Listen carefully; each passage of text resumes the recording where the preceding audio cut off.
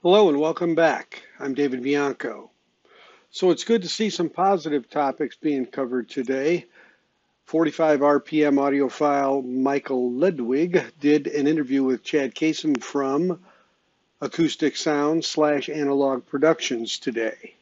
And it was really interesting. I'd like to also talk about the video that they released today because I've got a perspective on it from manufacturing. And I'd like to share that with you next on the sound of Safe and Sound, Texas.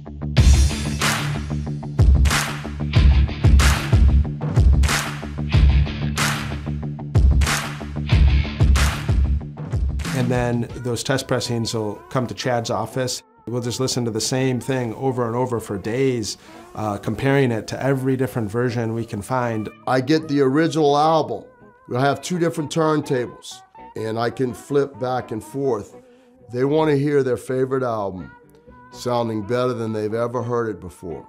And you know why I know that's what they want? It's because that's what I want. Analog is known for its warmth, its richness, its smoothness. And that's what we want. We want it to sound like nice analog tape. Hello and welcome back. David Bianco with you again. So today, uh, July 24th, we have the release of a video on YouTube from Acoustic Sounds called Behind the Scenes. Uh, and uh, in the description, it says from mastering to distribution, there is no company in the world quite like Acoustic Sounds. Get an inside look at each process that goes into creating the best sounding vinyl.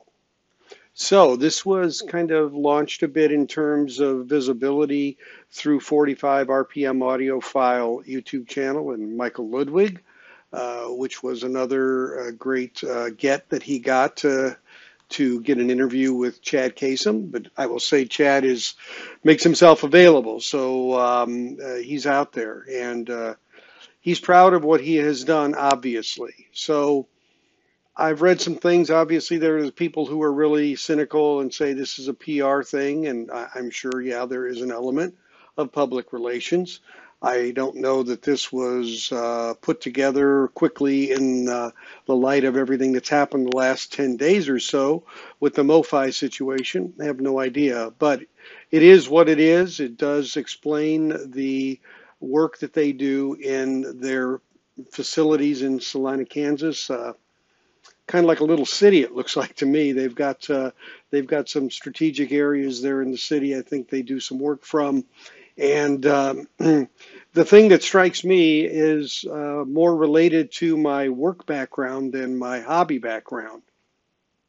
Having been in manufacturing for over 45 years now, having been uh, in quality as well in that journey, and knowing what it takes to make production processes, uh, sourcing of materials, uh, customer satisfaction, uh, the quality of the product and its longevity, although I wasn't obviously involved with making records, uh, there's quite a bit to it. And the one thing I, I have to say, just right out of the box here, is Chad understands a fundamental that I frankly think most businesses in the US especially have forgotten, and that is the more processes that you control and you own, the better off you're going to be in the long run. See, there's been kind of an outsourcing mentality uh, across uh, the business world for years and years and years.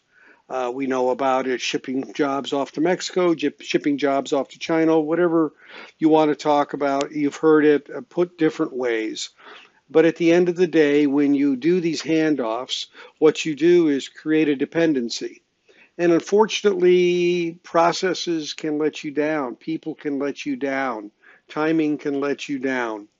We saw this tremendously with COVID. The supply chain was totally wrecked, right? It still really hasn't come back to fruition.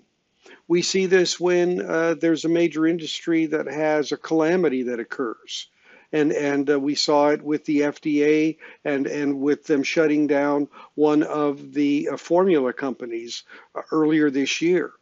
Uh, so my point is, we see it and we know it's there, and fundamentally. Uh, my focus of what I want to talk about is the fact that Chad is, in fact, bringing all of those processes into his control within his organization. So the pieces to the puzzle that he puts together, A, he controls, B, he designs, C, he gets the feedback from customers, and D, he can improve it. Uh, the packaging of the records and seam splits that's talked about is a great example. Seam splits is the number one complaint.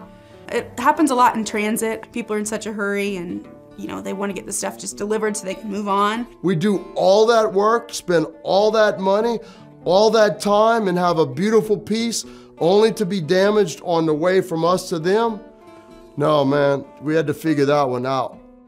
We need to design a box that's gorilla proof, that's idiot proof.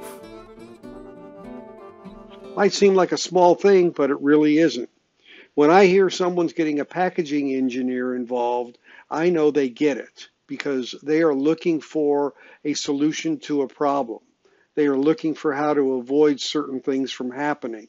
And that's what it takes. That's the kind of investment it takes. Now, you could go out and try different things in the market that's already out there and do trial and error, sure. But essentially, our customers are ending, ending up doing the trial and error then. And I think Chad figures, I don't want that. I want a solution that I can control and I can count on and that I can be confident in. So, yes, is there certainly any amount of PR when somebody does a video like this? Absolutely. But there's also pride here. There's also what I see is a lot of investment in the work, the content, the facilities, and a real strong belief and thanks to the people.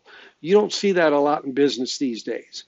Uh, Chad in the interview today was over the top several times about the people that have got him there and kept him there. Um, he says, "I'm no engineer. I got to count on these guys." You know, but but he has the ear at the end of the day to make these calls, uh, and, and, I have no doubt. Uh, in one portion, they say, you know, if it takes us redoing it over and over, it's going to be done that way until Chad's satisfied. You know, I believe he has so much skin in the game that that really is the bottom line. And isn't that refreshing, given what we've been through? Okay, I think it is. Now, are they perfect? Nobody's perfect. And I don't think Chad would begin to say that they are. But I also know that when he sees a problem, he goes after it. I also know that he's trying to be cutting edge, no pun intended, and that he's trying to always give the best to the customer. And that is really what most companies always say they want to do and they try to do. But part of delivering a, a product is delivering information, not just the end product. And I think that that's again where we have this other situation going on where really there hasn't been full information and customers may have been purchasing based on some assumptions. Uh, so I would say that I will tell you that in the video that he did with uh, 45 RPM Michael uh, Ludwig, he did talk of some pressings where they maybe had a track or two that they had to do something different with. And, and they did have situations as rare as they were. Are they as transparent about all those minutia deal, details as uh, I would think they might need to be or would want to be? Probably not. Uh, I think if you called them and asked them, they would tell you. That's a difference. I do believe they would tell you. But I do believe that even in even in the case of, of their production and, and the quality records pressing QRP and what they do, I think those areas definitely still can give a little more detail.